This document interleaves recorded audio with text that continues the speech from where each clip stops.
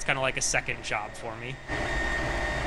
Joshua Nelson is an assistant professor at Ivy Tech in Lafayette by day, and he manages a fleet of 3D printers by night. The main thing we've been doing in the lab is printing parts for visors for face shields. These visors protect doctors and nurses and other healthcare workers and first responders from splatter. 11 Ivy Tech campuses are 3D printing shields that are being sent to Indiana hospitals, nursing homes, fire departments, and health departments. The Lafayette campus leads the way on production. Our facility here in Lafayette can do about 2,000 a week at max production. And innovation. The original file actually had a logo and a brim on it, and we cut down those for a couple reasons just to reduce the time.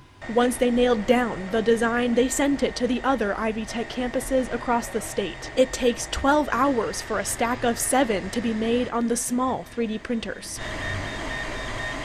and each stack has to be separated by hand. We bag them up with the other pieces. There's the band that goes around your forehead, there's a clear plastic shield in front of your face, and then there's also a rubber band to hold it together. Then it's shipped off to the Indianapolis Motor Speedway where the Indiana National Guard distributes them. Nelson says it's great for them to live out the community part of community college. There are doctors and nurses who are in much greater risk than we are, working much longer hours, and that really makes it worthwhile. Anna Darling, News 18.